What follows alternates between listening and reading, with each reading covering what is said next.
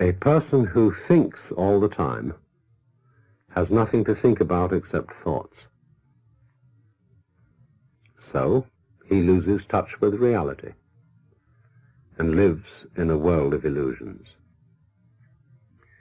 By thoughts I mean specifically chatter in the skull, perpetual and compulsive repetition of words, of reckoning and calculating.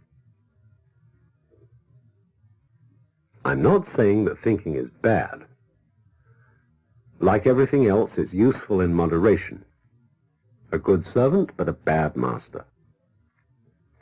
And all so-called civilized peoples have increasingly become crazy and self-destructive because through excessive thinking they have lost touch with reality.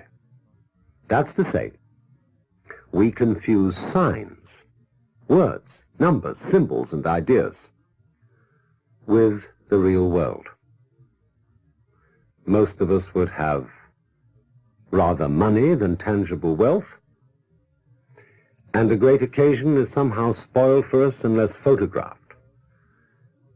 And to read about it the next day in the newspaper is oddly more fun for us than the original event. This is a disaster. For as a result of confusing the real world of nature with mere signs, such as bank balances and contracts, we are destroying nature. We are so tied up in our minds that we've lost our senses. Time to wake up. What is reality? Obviously, no one can say because it isn't words. It isn't material, that's just an idea. It isn't spiritual. That's also an idea, a symbol. Reality is this.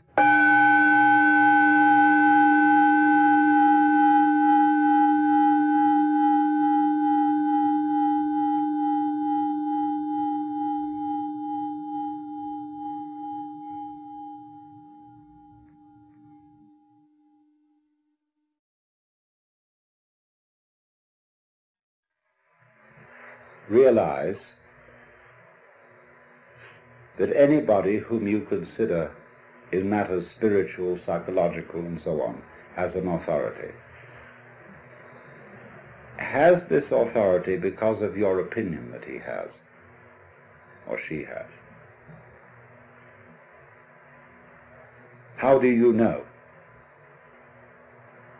If you say, for example, like a Protestant fundamentalist, that you believe in the Bible, that the Bible is inspired. Or you may say, as a more liberal kind of Christian, that Jesus Christ is the greatest being that ever lived on earth. How do you know? It's your opinion that that is so. Lots of people may have told you so, and you may be very impressed by those people, but you bought it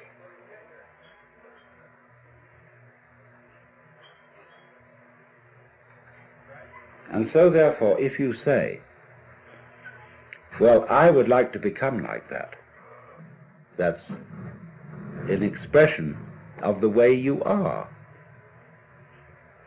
You couldn't feel, I would like to become like that, like the authority, like the Christ, except as an expression of the way you are now. And the way you are now is the quaking mess. And therefore, your emulation, your desire, your idealism to become like Christ is merely one of the appetites of your quaking mass. It's an expression of you as you are. And don't fool yourselves. I'm not trying to put you down by talking about the quaking mass. The quaking mass may be in fact something very, very natural. The way we are, the state of affairs and we shouldn't be ashamed of it. I'm not ashamed of it. I told you of it, frankly.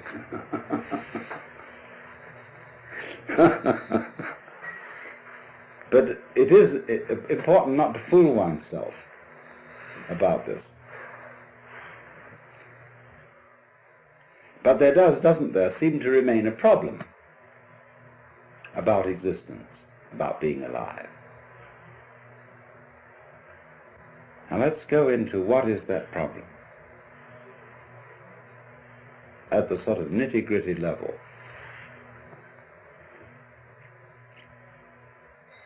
Very basic in our thinking is that we, as it say, one must live. We need to survive, to go on. We need, therefore, money for food, for this, that, and the other. We must go on. And we know that we're not going to get away with it for very long. That after a certain number of years we're going to die. The, the, the thing is going to end. The thing that we call I is going to be as it is in sleep. Deep sleep with no dreams. But that between now and that happening, there may be the most ghastly pains. Not only perhaps the pains of physical disease, or being wounded or hurt, but the pains of worrying about our failure of responsibility to people who depend on us. And we suffer other people's suffering simply because we're sensitive and have imagination and participate in their sufferings, and our adrenaline and our chemicals respond simply by imagination to the sufferings of other people. And what about that?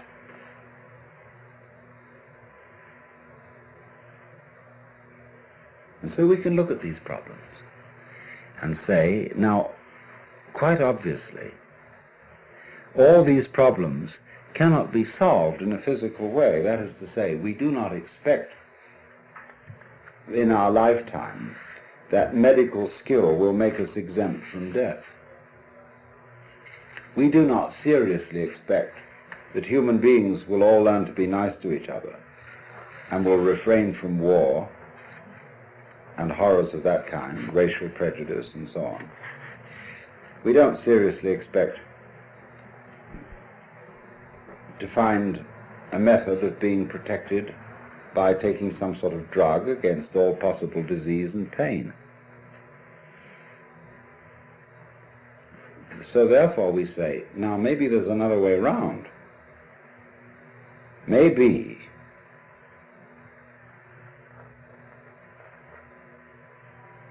that instead of solving these problems at the technical level, we could solve them at the psychological and spiritual level by so disciplining ourselves, by so doing something with ourselves, that we wouldn't be afraid of it anymore. And so, in accord with that motivation, we seek out spiritual teachers, psychological teachers, this, that, and the other. Could we somehow be made over so that we don't worry about the quaking mass by a spiritual discipline or whatever.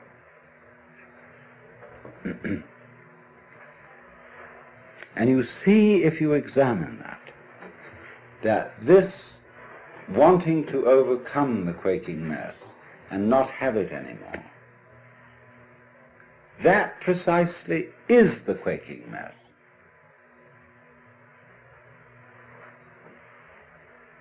The thing that we object to about ourselves is precisely what we do about overcoming it. In other words, the activity that we employ in overcoming it is the mess that we object to. Do you see that? And it's very important to realize that. Then if you do realize it, you raise the question, then what can I do?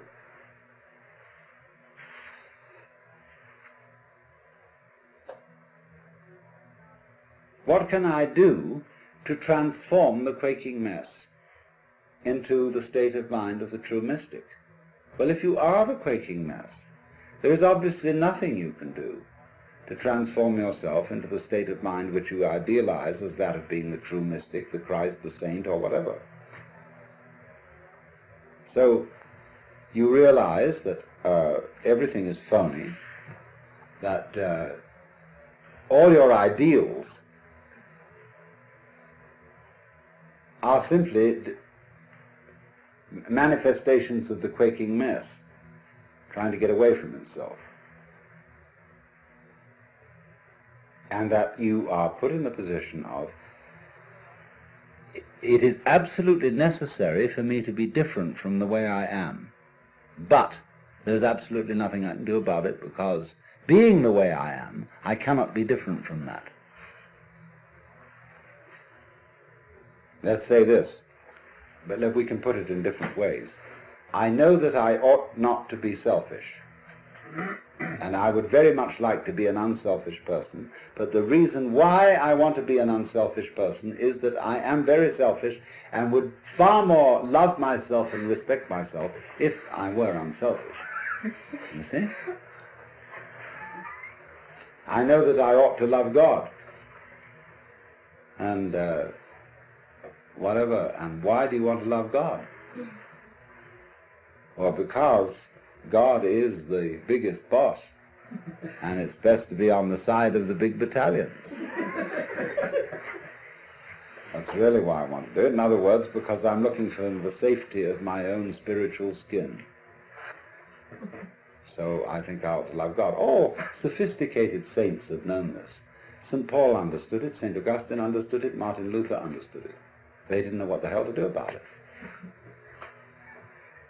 But there was nothing to do about it.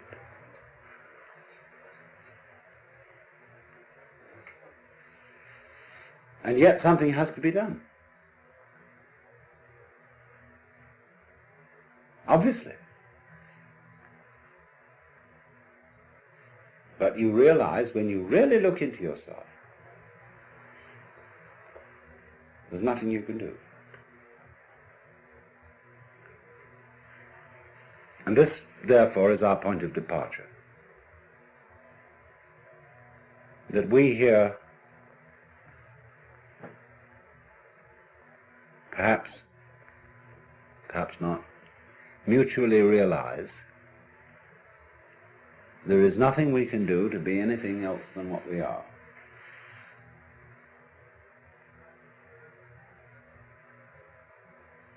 To feel any other way than what we feel at this moment.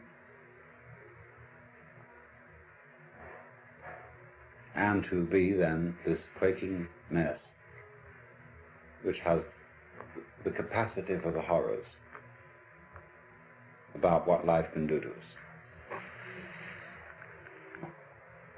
However, this isn't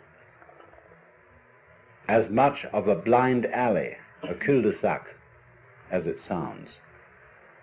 Because if you discover a blind alley, it tells you something. Watch the flow of water when it crosses over an area of land. And you will see that it puts out fingers.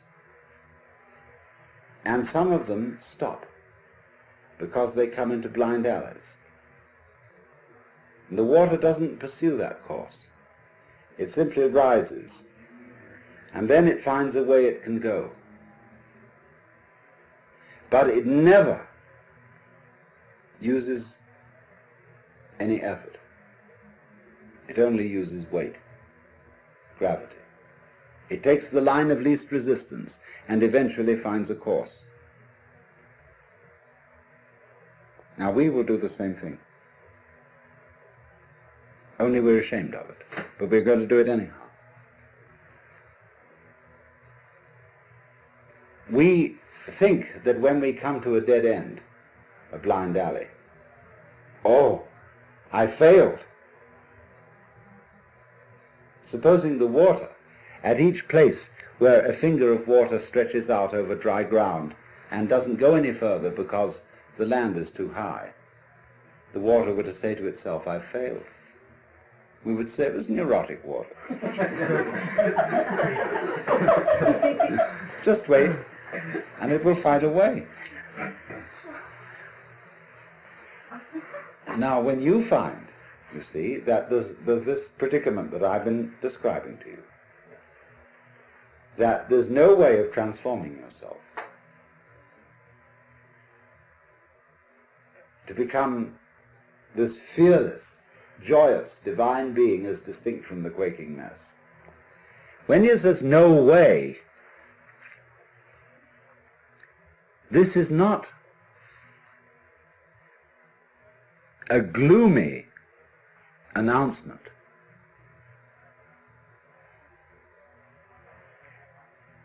It is a very, very important communication. It's telling you something. Because the, like the land is telling the water, this isn't the way to go.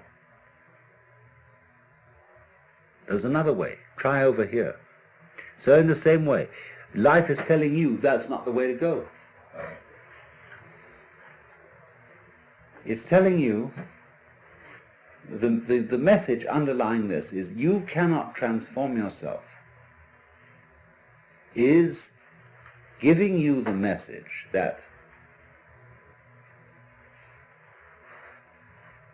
the you that you imagine to be capable of transforming yourself doesn't exist.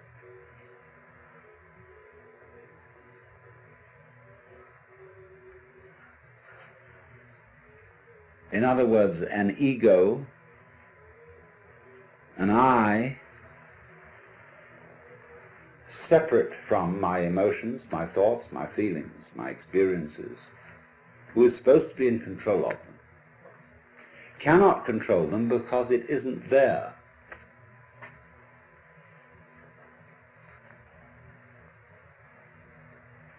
And as soon as you understand that, things will be vastly improved. Now we can go into this. What do you mean by the word I? We're going to make some experiments in this on some number of different levels, but in the ordinary way, what do you mean by the word I? I myself. Your personality, your ego. What is it? Well, first of all, obviously, it's your image of yourself.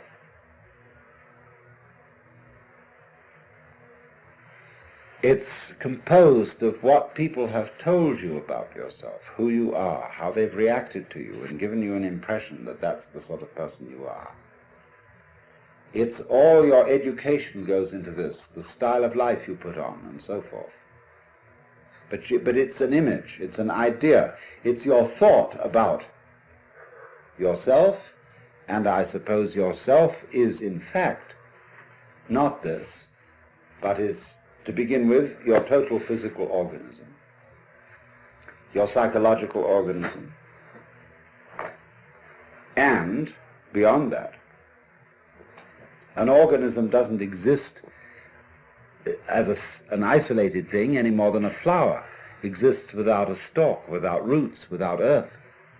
So in the same way, although we are not stalked on the ground, we are nevertheless inseparable from a huge social context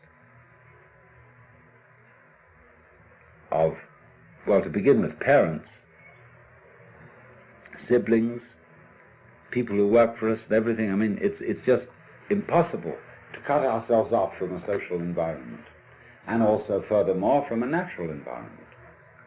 We are that. There's no clear way of drawing the boundary between this organism and everything that surrounds it. And yet, the image of ourselves that we have does not include all those relationships. Our idea of personality of ourselves includes no information whatsoever about the hypothalamus, an organ of the brain, the pineal gland, really of the way we breathe of how our blood circulates, of how we manage to form a sentence, how we manage to be conscious, how you open and close your hand. The information contained in your image of yourself contains nothing about all that. And therefore, obviously, it's an extremely inadequate image. But nonetheless, we do think that the image of self refers to something. Because we, we have the impression, very strongly indeed, that I exist. And this isn't just an idea. We think, my God, it's a feeling. It's, it's really substantially there in the middle of us. And what is it? What, what, what do you actually sense? Like, you know, when you're sitting on the floor and you feel the floor is there and is real and hard. Okay, what are you sitting on the floor? What, what do you have the sensation of? You know, that's you here when you're not hitting yourself. Huh. What is it?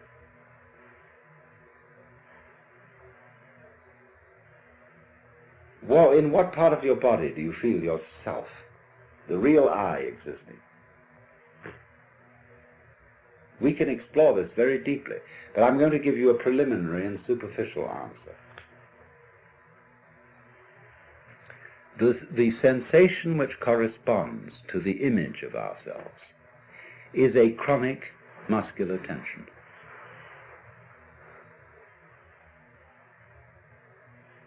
which has absolutely no useful function whatsoever.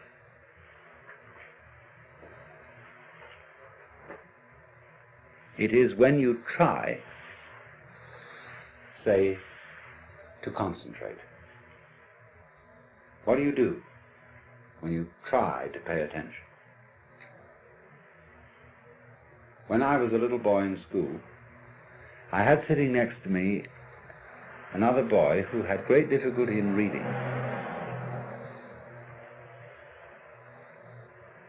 And as he worked over the textbook with its perfectly piffling information,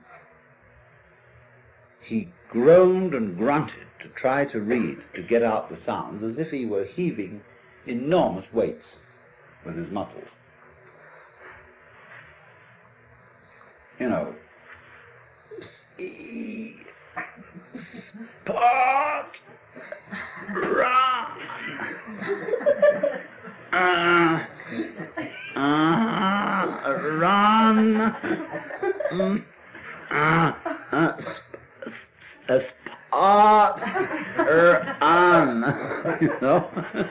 It was enormous weights he was heaving. And, you know, the teacher was vaguely impressed that he was trying.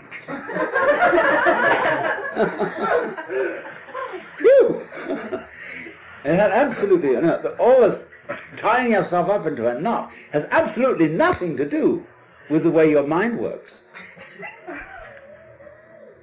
Because look, if you try to see hard, you know, look very intensely, and you make tight muscles around here, and maybe you clench your jaws a bit, if anything, that will make your vision more fuzzy.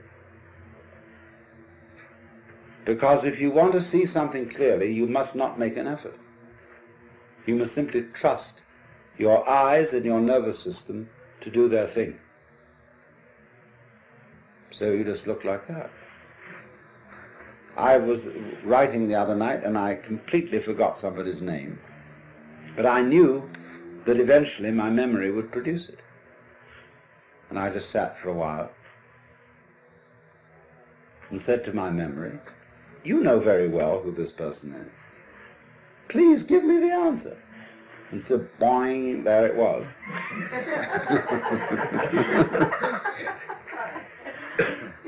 because that's the way nerves work.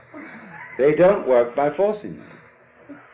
And yet we've all been brought up to try to force our nervous activity, our concentration, our memory,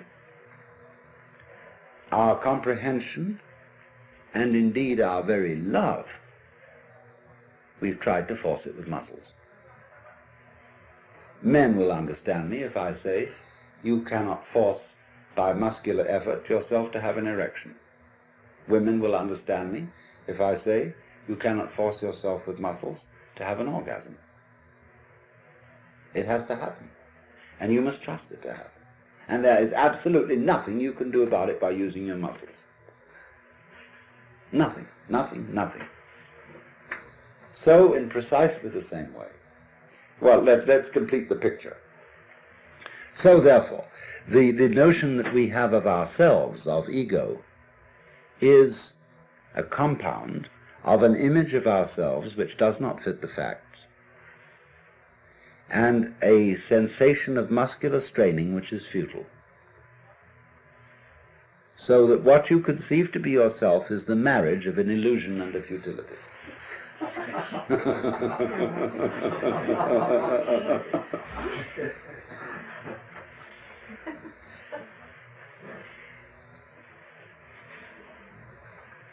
so, well, what are we? If that isn't the case. Well, obviously, uh, if you want to take a scientific point of view by that mythology, then your, your organism,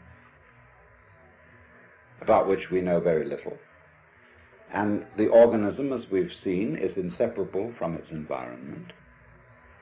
And so you are the organism environment. In other words, you are no less than the universe. Each one of you is the universe expressed in the place which you feel is here and now. You're an aperture through which the universe is looking at itself, exploring itself. And we're going to go into that much more deeply. So when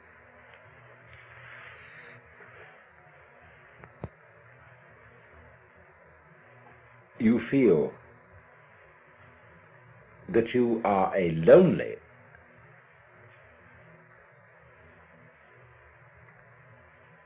put upon, isolated, little stranger confronting all this, see, you have an illusory feeling.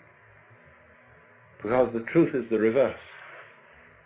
You are the whole works that there is, that always was and always has been and always will be. Only, just as my whole body has a little nerve end here, which is exploring and which contributes to the sense of touch, you are just such a little nerve end for everything that's going on. Just as the eyes serve the whole body and help it to find its way around, so you are, as it were, serving the whole universe. You're a cell in it. And it's exploring itself. So that you as a function, you, you are a function of all that. And therefore, if this is so, it just doesn't fit the, the, these facts do not fit the way we feel. Because we feel it the other way around. I am a little lonely thing exploring all this universe and trying to get make something out of it, get something out of it, do something with it. And I know I'm going to fail because I know I'm going to die one day. So we're all fundamentally depressed. And think up all these fantasies about what's going to happen to us when we're dead and all that kind of thing. Uh, what's going to happen to you when you're dead? What do you mean you? If you are basically the universe, that question is irrelevant. You never were born and you never will die.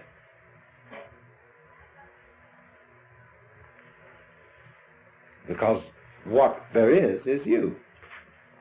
And that should be absolutely obvious. But it is not obvious at all. That should be the simplest thing in the world. That you, the I, is what has always been going on and always will go on forever and ever. But we have been bamboozled by religionists, by politicians, by fathers and mothers, by all sorts of people to tell us you're not it. And we believed it. So, do you see now why, if I put it to you in this very negative way, you can't do anything to change yourselves, to become better, to become happier, to become more serene, to become mystics or anything. If I say you can't do a damn thing, can you understand this negative statement in a positive way? What I'm really saying is that you don't need to.